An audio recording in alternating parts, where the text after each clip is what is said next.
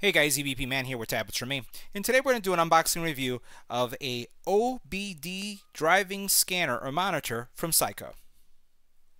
So let me talk about um, how you use one of these guys uh, before we do the unboxing. Uh, if you have in your car that little pesky check engine light or um, tire light or any kind of monitor that goes off, uh, this device is going to tell you what's going on.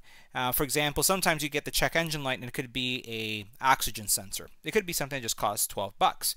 Um, maybe you've changed the oil on your car and you just can't figure out how to take off the check engine light because of you know the different, um, I would say, configurations and steps you have to go through in your car to do that. This little device is going to give you the ability to see those error codes and reset them.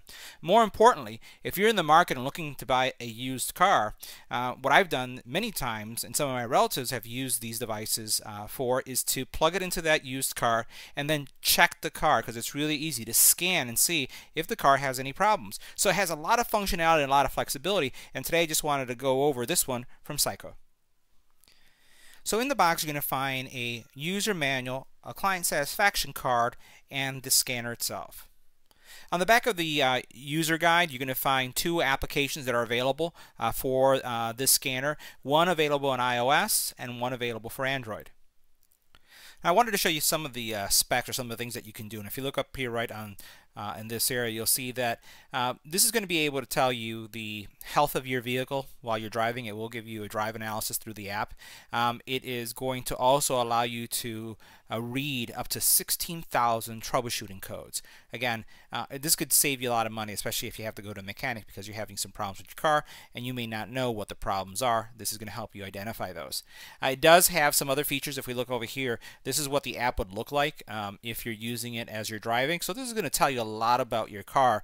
Uh, not that everybody really needs this, but I know that there are some auto enthusiasts that really like seeing this type of information and seeing how the car is performing in various areas of the vehicle as it's being driven. Uh, you know, so once again, a lot of different uh, bits and pieces of information, and we're going to plug this into a car and we're going to try it out and see um, how we can use it. Now the adapter itself is pretty small and typically this plug appears um, on the bottom left hand corner of the driving area of your car. So most cars have these. You'll find it. It may be covered. Uh, it is does not have a USB port to plug into because it's self-powered. This is what when you take your car to the dealer or to a mechanic and they plug something in in your car when they open it up. This is what they have a, a more professional grade to read what's going on in your vehicle. So as you notice here, you have a couple um, settings here. You have a power as well as a link. So the power is obviously that you're getting power and it's self-powered, and the link just means that you're connected uh, to your phone via Bluetooth 4.0. So you can plug this in and it's not going to hurt anything because uh, really uh, this is what this port is designed for. That port is designed to be plugged in and to get information from it or read information from it. So what we're going to do is we're going to try this off in my car and we'll see what kind of information we can get. So the first thing I wanted to do is show you where the port is, where you're going to plug in the um, the monitor or scanner. And like I said, most cars um, have it somewhere in this area. Sorry about that. So somewhere right here. My car, this is um, actually a Toyota, has it right here. So all I'm going to do is take this scanner itself that you see right here, and I'm going to plug it into that port that you see right there, this one right here, and then as soon as I do it, it's going to light up. Now once you plug it in, it's going to look just like this. You can see, um, you know, I have the light on so I can show this well, but the the LED is lit on, saying that there's some power here. So now all I'm going to do is scan for this device, just like I would any Bluetooth device. So now I have my uh, phone in Bluetooth mode, and you can see I can see it right here. All I'm going to do is choose it, just like any other Bluetooth device, and then it will pair it. So now that I've successfully connected the app to the scanner and the scanner is connected to my vehicle, you can see this is the type of information that I'm getting. So it's telling me a lot of information about my battery, telling me about the vehicle uh, engine temperature and if I have any issues that I need to worry about. There are some other settings here, so I'm just going to choose a different one, HUD. Here you can notice it's um, going to tell me what my speed is. Right now I'm not driving, but it is telling me that I do have some speed, so I just plug this in.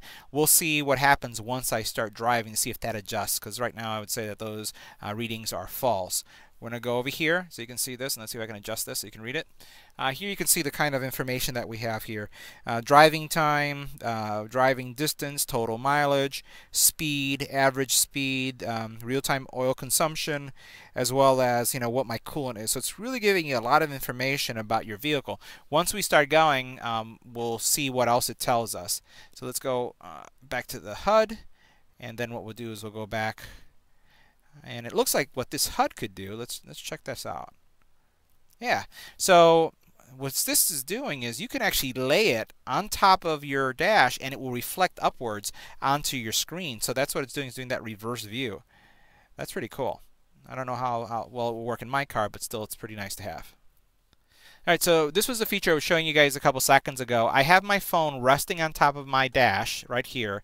You'll see it right there. And then the reflection that's hitting on top is showing up. So I basically reversed the image. So I can see, um, and it may not come out as clear um, on the camera, but it's pretty clear. I can see what's going on and I can adjust it. Oops, I moved that around, so I'll put it right here. I can see uh, what my RPMs are. I can see my speed, my oil consumption. You'll see I'm going to speed up right now and you can see that this will catch up in a second. Let's see how that go.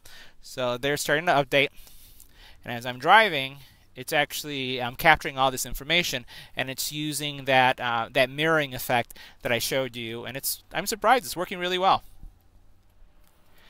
So here you can see what it would look like um, when you're uh, you know just driving. So I'm noticing that there is a slight delay. Um, I don't know if it is my phone or if it's adapter. Now it's catching up. So here you can actually see my speed. You can see all the information that we were talking about, uh, consumption and whatnot. But now we have it in the other mode. So now it's you know I have it on my on my uh, car mount um, in this case. So um, the other app I wanted to show you that this scanner works with is a product or program called Torque. Torque is pretty popular. I'd say it's one of the best um, applications out there when it comes to monitoring and looking at fault codes on your vehicle. And I just wanted to show you that it is um, uh, actually uh, accurate and measuring everything that's going on in my car. So I'm just choosing this setting for a second. And I can swipe through and there's various settings here. So this is showing I'm actually almost at a at a complete stop, but it's showing the rev of my engine as I move over. There are all these different type of monitors. I'm getting um, a little message here that says it's connected to the ECU and that everything is okay. And the neat thing about this is the this app is also highly uh, configurable and it has multiple skins. So it's really going to give you the ability to, to personalize or make this experience um, your own. And you'll see here that it's um, looking at my fuel system information, looking at uh, the system type. All this information is all real-time information that's coming from my car. And once again, uh, it's compatible uh, with this app.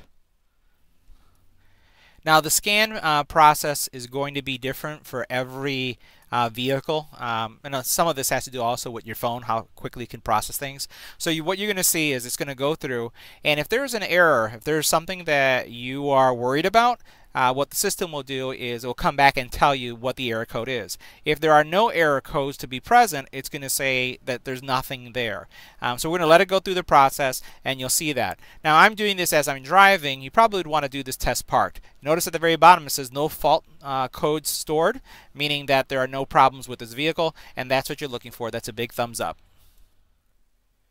So I just wanted to show you here the type of information that the scanner is collecting. So you notice uh, here are all the results of some of the uh, tests that it, that it did, and you can see that um, really it's, checking a lot. Uh, and the neat thing about this is once again, if you, if you do find anything that's wrong, you could use any of these codes to figure out what's wrong with your vehicle and easily take it to a mechanic or if you're a do-it-yourselfer, you could find what you need to repair or replace. If it's a sensor that just costs you know anywhere from 10 to 20 bucks, you could do it yourself. So this concludes our review of the Saicoo OBD driving monitor. I want to thank Saicoo for making the product available uh, to us on this channel for review, and I also want to thank you for watching. If you have any comments or questions about the product, please leave it in the YouTube channel, and as always, don't forget to like, share, and subscribe. Thanks for watching.